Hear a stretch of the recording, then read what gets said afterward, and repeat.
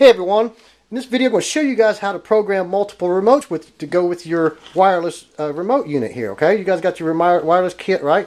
And you got you, you, come with two remotes, okay? So what if you want to hook up a third remote or one, maybe one of the remotes got wet, you lost it or something like that and you need another remote from us. We have an option you guys can buy multiple, you can buy replacement remotes, right?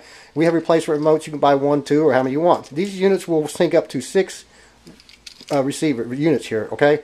Remote units. So we'll, all you got to do is simply, guys, is when you got it here, you take, take it out of the plastic real quick. There's a little button right there, okay? And you see the lights on too. There's a little button. And these two are already programmed for to, to, to sync up to it. If you want the third one, maybe you want the third one to sync up, what you do is hit this button. The light will go out, and you have like 10 seconds to hit this button. And when you do it, see it flashes? It means it's synced to it now. So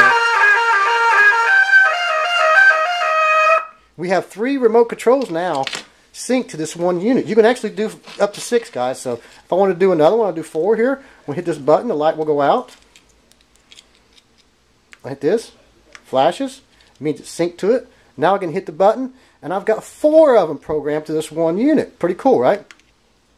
So this is how it works, guys. So this is how you can add up to just four, right? We got four units here programmed to this one receiver. So it's pretty cool, guys. Uh, you, you, like I said, our kits come with one, I mean, with two remote controls.